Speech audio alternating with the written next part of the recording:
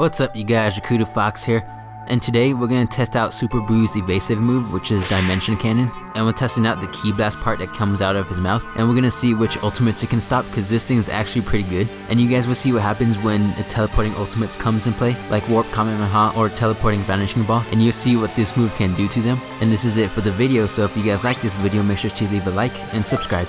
Peace!